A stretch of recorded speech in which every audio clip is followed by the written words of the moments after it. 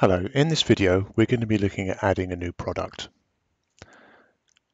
To add a new product, first of all we go to the Products menu and then select the option called Stock Items.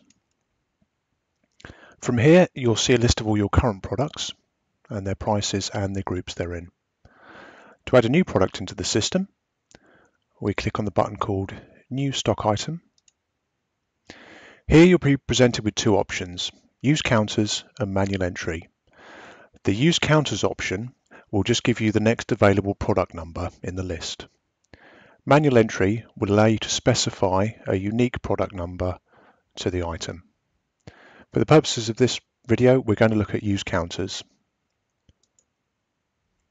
From here, we can see we've got the letter range A, and we can see the next number it's going to us is number 54.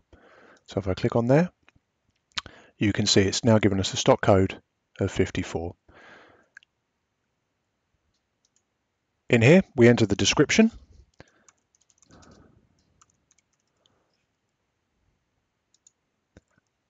And when I click in the next box, EPOS description, you can see it duplicates whatever you've typed in description.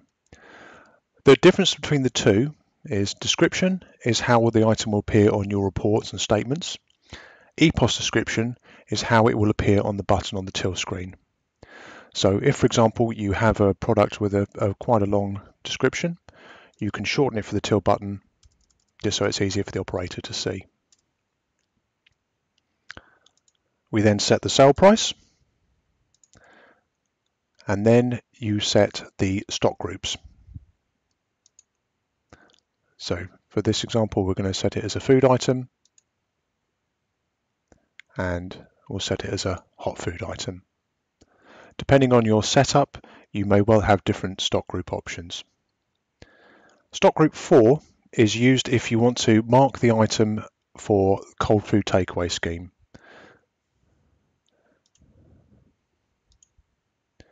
If you need details on what items qualify for a cold food takeaway scheme, please ask someone in your finance department or consult our help desk. The general rule is cold food items prepared on site that can be eaten outside the restaurant, for example, sandwiches, wraps, etc. Once you have these boxes set, we then click on Save, which brings you to a, list of other options. If your site uses barcode scanners and you want to add a barcode for this item, simply click on Barcodes then click on add new barcode and then you just enter in here the number that appears on the barcode on the item and click save.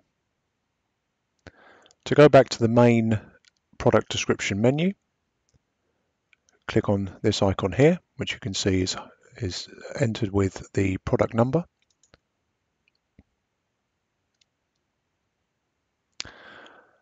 If you need to change the VAT set up for these items. So for example, here, here we can see the purchase VAT code is set as standard and the sales VAT code is also set as standard.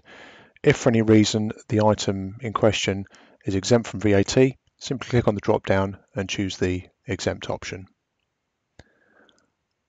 Once all your information is entered, simply click on save and your product is now saved.